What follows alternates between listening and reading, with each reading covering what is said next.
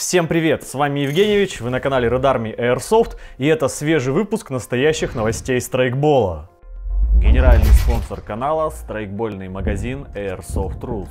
Из этого выпуска вы узнаете, что нового сделали Маруй, почему нет перепилов для Витязь от LCT и как потратить 600 тысяч рублей на масхалат. С вашего позволения начну с наших новостей. Неделю назад мы выступали в роли организаторов крупной для нашего региона страйкбольной игры «Огонь Баристана». В игре приняли участие более пяти сотен человек.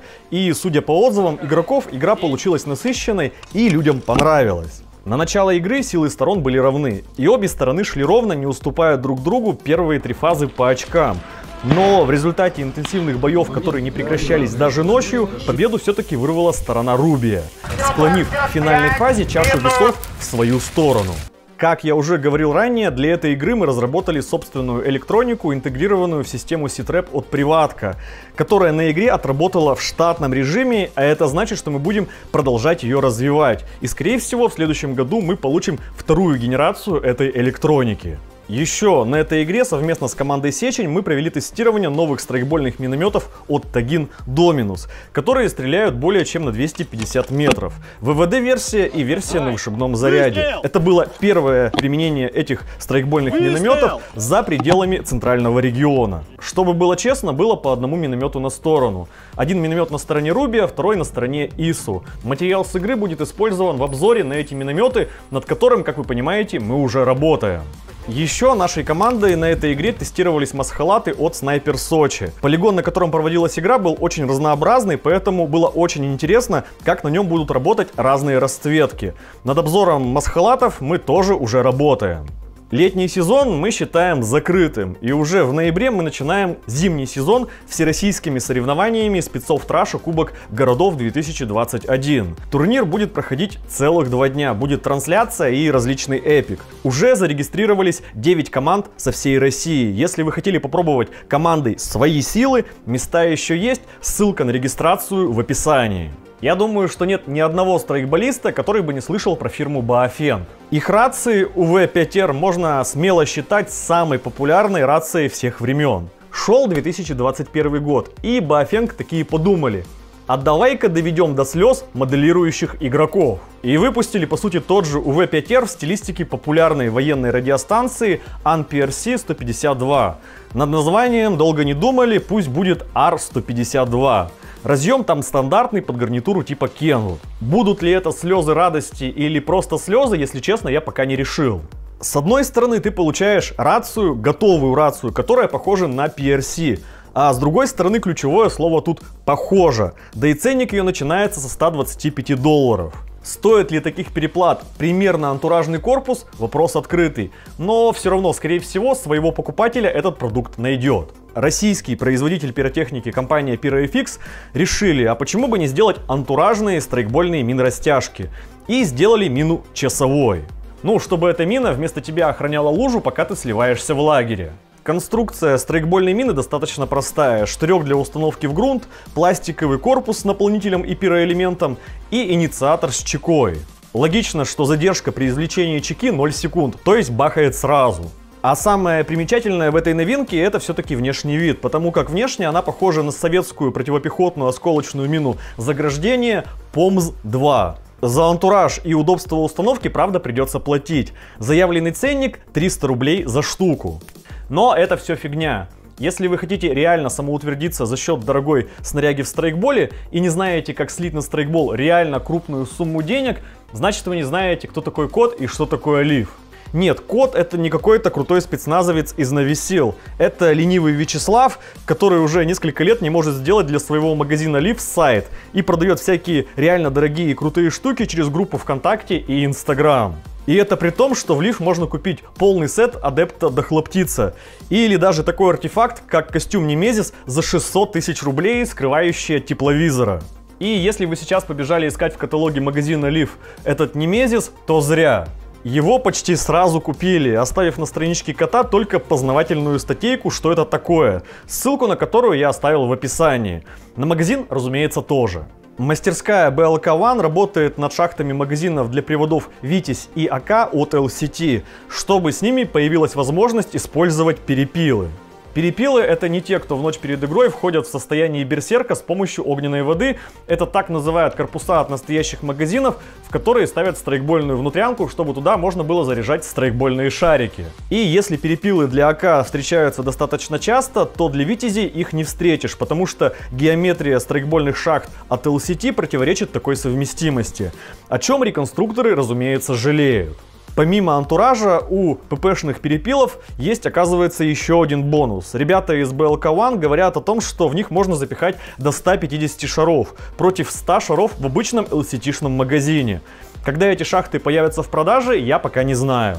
Компания Maple Leaf выпустили несколько полезных деталей, которые заслуживают внимания. Начнем с самой полезной детали для страйкбола, а именно с камеры хопапа. Итак, Maple Leaf обновили камеру хопапа для спринговых винтовок, сделанных по архитектуре VSR-10. Называется камера MLC Hop Chamber 2.0. В комплекте сразу два коромысла, обычное для регулировки бегунком сбоку и так называемого TDC типа под плоские давилки.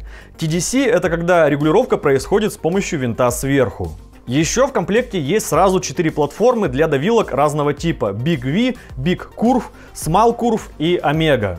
Вторая новинка опять для спринговых болтовок VSR-10 типа. Это переходник для установки глушителя.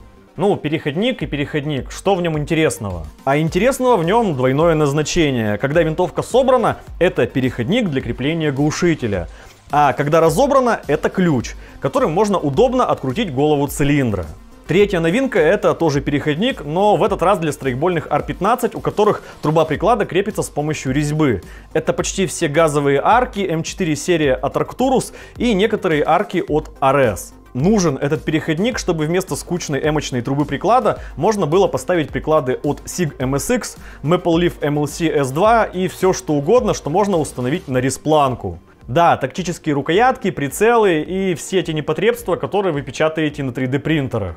Российский производитель StrikeArt показал новую платформу для установки своих пусковых устройств, называется Стилет. На нее можно поставить любой подствольник, превратив его в автономный страйкбольный гранатомет.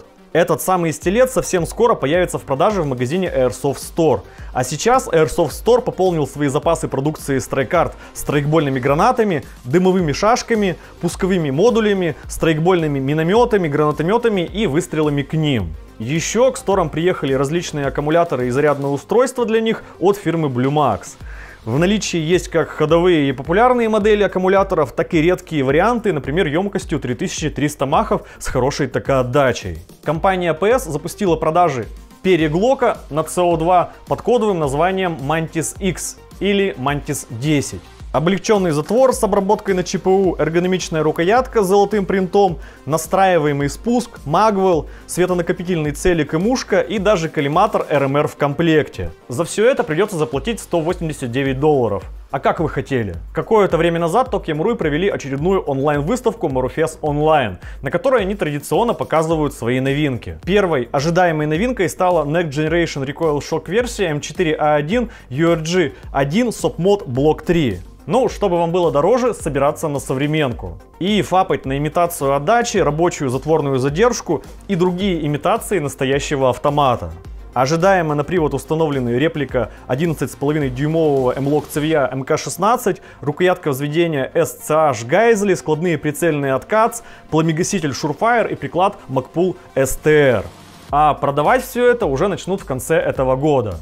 Вторая, но уже неожиданная новинка, это страйкбольная копия армейского шестизарядного револьвера, состоявшего на вооружении армии США с 1873 по 1892 год. Речь идет о Colt CAA-45 Peacemaker. В комплекте по классике есть 6 фальш-патронов, в которые нужно заряжать шарики. Принцип зарядки и стрельбы точно такой же, как у оригинального револьвера. Маркировки лицензионные, обещают черную и хромовую версию. Продавать начнут в феврале 2022 года, а цену пока не говорят. Еще Маруй засветили коллиматор Маруй Tactical Dot Pro Sight, который подозрительно похож на Т1, и механический магазин на 80 шаров для приводов серии Скорпион. ВЕ определенно не дает покоя слава пистолета AAP-001 от Action Army, и они продолжают выпускать рюгерообразные вариации этого пистолета с разными рамками. В этот раз получился вариант с рамкой от 1911 и двумя разными типами затворов. Galaxy 1911 Premium с классическим вариантом ствола и Galaxy 1911 Type B с измененной формой ствола и респланками для установки всего, что позволит ваша фантазия. Еще они отличаются разными цветовыми решениями на любой, даже самый странный вкус. Стоимость зарубежных магазинов варьируется от 110 до 130 долларов.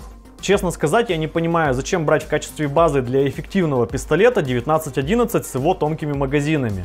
Для тех, кто хочет разобраться, почему это плохо, я делал отдельное видео, оно есть в подсказках, смотрите. В это время GNG сделали бубен на 1500 шаров для своего пистолет-пулемета PCC-45, обзор на который я, кстати, тоже делал для нашего канала.